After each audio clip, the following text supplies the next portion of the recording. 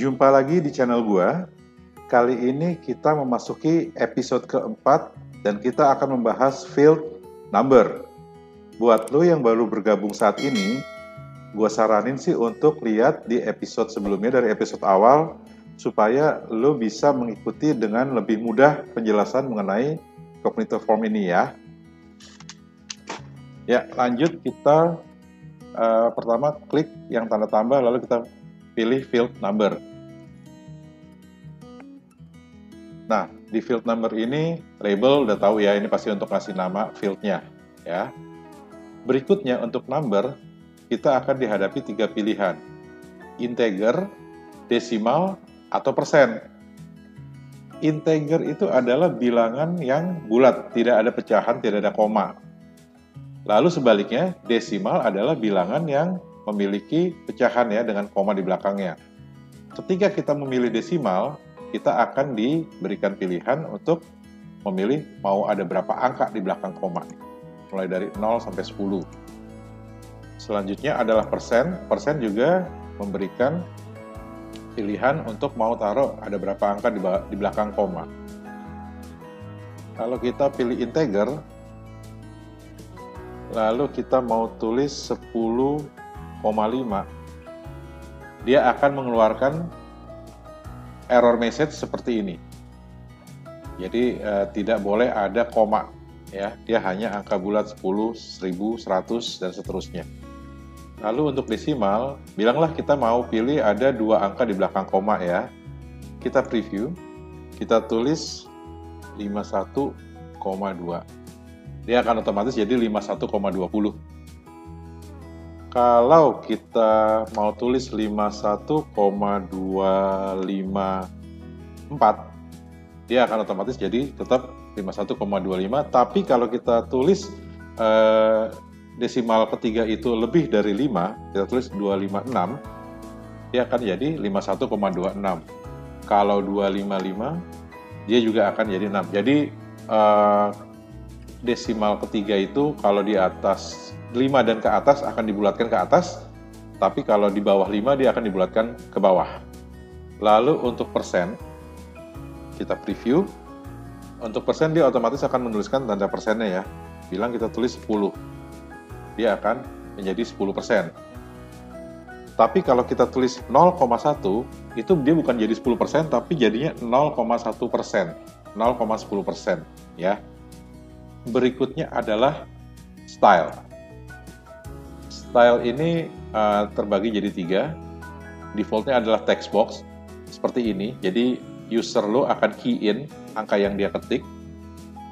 Di bawahnya lagi ada spinner. Spinner itu uh, user tetap bisa key in ketik, tapi dia uh, lebih enak lagi bisa ada tanda plus dan minus untuk mengganti jumlah angkanya. Contoh ya, kita preview. Nah, ketika uh, dia dalam bentuk spinner, kita bisa tulis nih satu gitu ya. Tapi kita tetap bisa melakukan perubahan dengan mengklik tanda tambah dan tanda kurang ini. Berikutnya adalah drop down.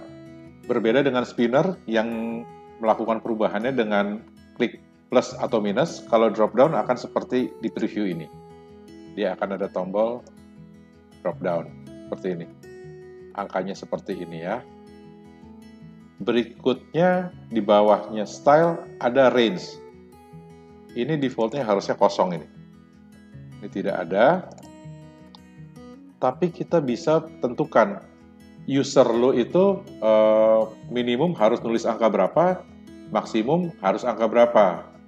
Contoh nih, uh, misalnya mau menanyakan gaji yang diharapkan misalnya ya.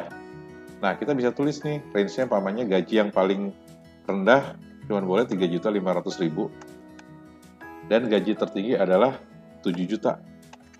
Ya, kita preview.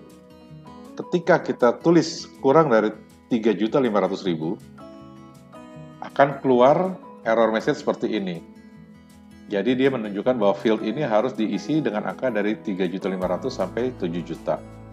Sebaliknya juga demikian, kalau kita input lebih besar dari 7 juta, dia akan keluar notifikasi itu dan kalau dia masih masuk di dalam range itu Ya, dia tidak keluar notifikasi error. Khusus untuk spinner dan drop down, selain range, dia juga ada increment buy. Nah, kalau yang di spinner itu, increment buy itu menunjukkan setiap kali kita klik plus atau minus, angka itu akan berubah sebesar berapa banyak. Contoh ya, kita bikin ini karena uh, pakai udah sampai jutaan, kita bikin setiap kali diklik berubah 100 ribu deh. Yuk, kita preview ketika pertama kali diklik plus dia akan langsung menampilkan 3.500.000 sebagai angka minimum. Lalu kita klik plus lagi, dia akan jadi 3,6, 3,7, 3,8 dan seterusnya. Begitu kita sampai angka di 7 juta, dia tidak mau diklik plus. Klik plusnya tidak berfungsi, ada tanda lingkaran dengan garis miring seperti ini. Untuk drop down, incrementnya 100.000 juga, kita preview hasilnya akan seperti ini.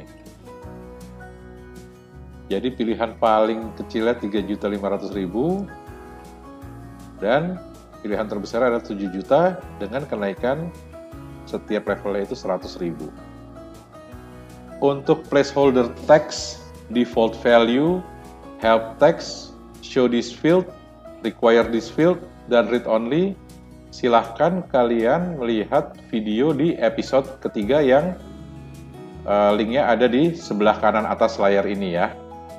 Baik, terima kasih telah menonton sampai selesai. Untuk episode 4 sampai di sini dulu. Terima kasih sudah menonton. Ditunggu jempol ke atas, subscribe, dan jangan lupa aktifkan lonceng notifikasinya. Sampai jumpa lagi di episode gue yang berikutnya. Bye-bye.